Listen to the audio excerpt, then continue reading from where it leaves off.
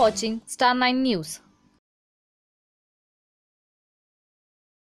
मुंबई के Chembur police station ने एक ऐसे आरोपी को गिरफ़्तार किया, जो खुद को कोविड अधिकारी बताकर आम आदमी को लूटता रहा पुलिस ने शिकायतकर्ता के बयान के आधार पर दो शख्स के खिलाफ धोखाधड़ी का मामला दर्ज कर आरोपी को गिरफ़्तार किया चेंबूर पुलिस से मिली जानकारी के मुताबिक 30 जून की शाम करीब 6 बजे चेंबूर के सरस्वती विद्यालय के सामने पीड़ित अब्दुल याकूब शेख, जो चेंबूर स्टेशन से अपने घर की तरफ़ जा रहा था।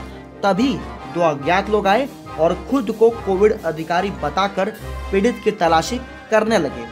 पीड़ित के हाथ में मौजूद बैग में से कैनरा बैंक के एटीएम निकालकर पीड़ित के खाते में से चौवन हज़ार रुपए निकाल लिए गए। जब इसकी भनक पीड़ित को लगा कि उसके साथ कुछ गलत हुआ है तो उसने तुरंत नजदीकी पुलिस स्टेशन में जाकर मामला दर्ज कराया।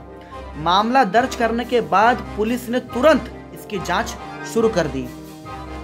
पुलिस घटनास्थल पर पहुँची, सीसीटीवी फुटेज को खंगाला। सीसीटीवी फुटेज खंगालने के बाद उसमें देखा गया कि एक होंडा सिटी कार और उसी होंडा सिटी कार की मदद से पुलिस उस मामले की जड़ तक पहुँची। चेंबूर पुलिस थाने में PR number 238 under section 420 34 IPC दाखिल है। ये गुने में दो आरोपी निष्पन्न हुए हैं। दोनों आरोपितों आरोपिता ने